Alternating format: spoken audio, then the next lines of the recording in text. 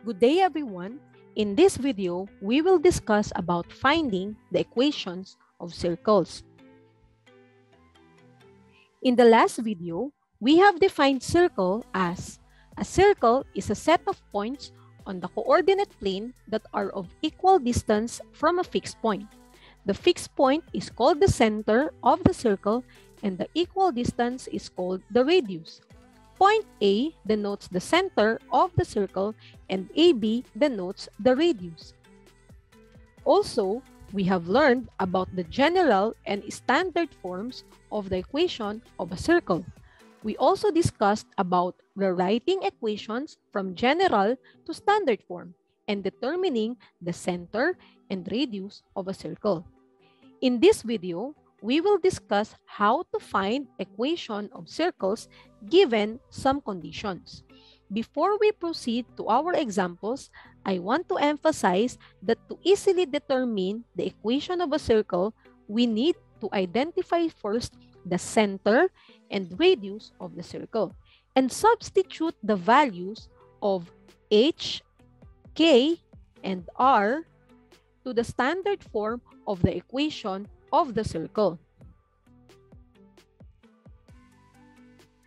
Let us have this first example. Find the equation of the circle in general form with center at 2, comma 3 and whose radius is 3 units. So, since the center and radius are already given, so this is our center and this is our radius, we simply now substitute the values of h, k, and r to our standard form. Remember that our standard form is given to be x minus h quantity squared plus y minus k quantity squared is equal to r squared. Substituting our values to this equation, we will have x minus 2 quantity squared plus y minus 3 quantity squared equals 3 squared. Notice class that this is already our equation of the circle in standard form. However, going back to the question, we were asked to write the equation in general form. So how are we going to do that? First, we need to evaluate or simplify rather this expression x minus 2 quantity squared and this expression y minus 3 quantity squared. Remember the square that squared means multiplying by itself. Therefore, you will have x minus 2 times another x minus 2 and then this one. So it is better, it is better to expand the given expression. And then simplifying this, 3 squared means 3 times 3. So that will give you 9. Okay. Multiplying binomial by another binomial, you may actually use the FOIL method. So to do that, x times x will give you x squared. Then x times negative 2 will give you negative 2x. Negative 2 times x is another negative 2x. And negative 2 times negative 2 will give you positive 4. Copy the plus. Do the same thing here. So y times y equals y squared. y times negative 3 equals negative 3y. Negative 3 times y equals negative 3y. And negative 3 times negative 3 is positive 9 equals 9. So next thing to do is to simplify this and this. Since they are similar terms, we can combine them.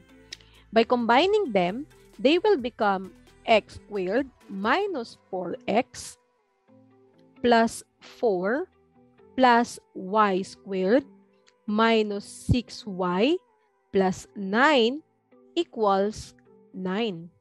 Now, we can combine the constant terms.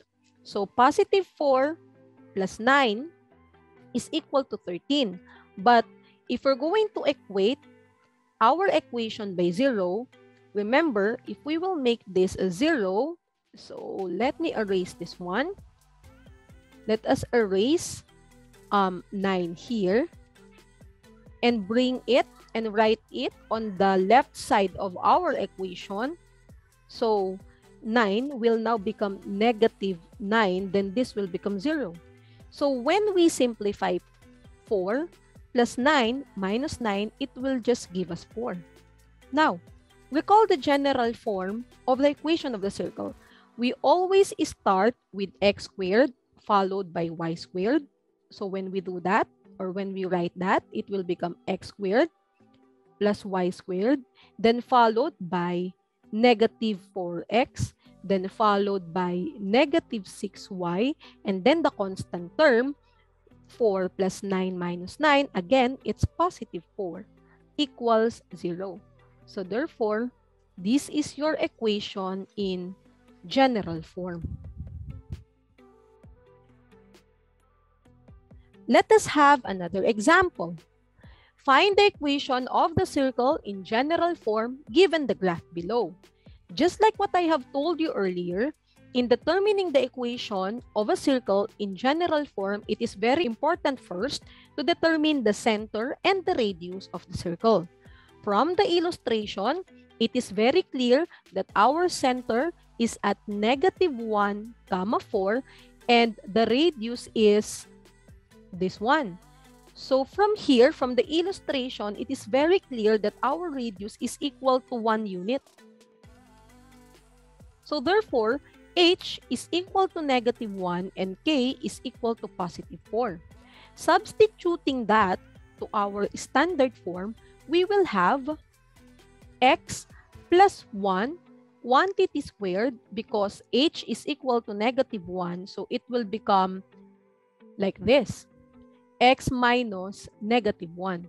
That is why it became x plus 1 plus y minus 4 quantity squared equals 1 squared. So just like what we did earlier, we expand this so you can easily see what you need to multiply.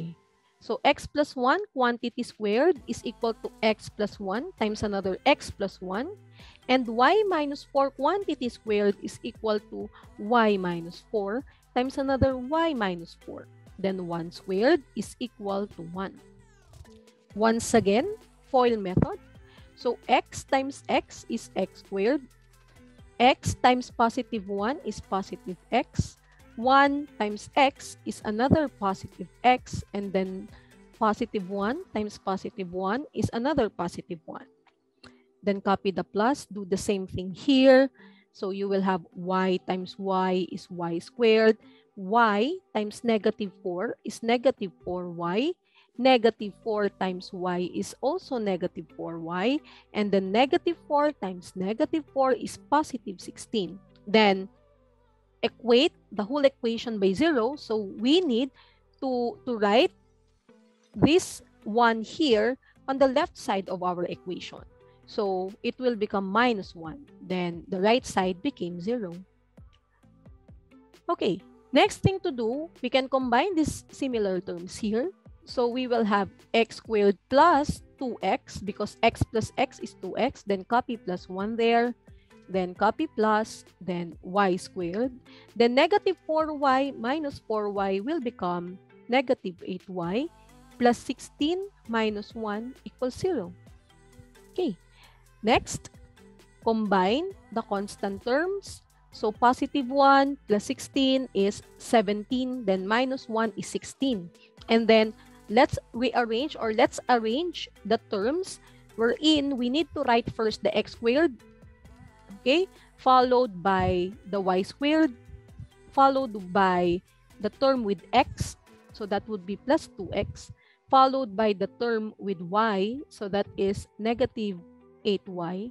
And then we have simplified our constant and we got there positive 16 equals 0. So therefore, this is your equation in general form.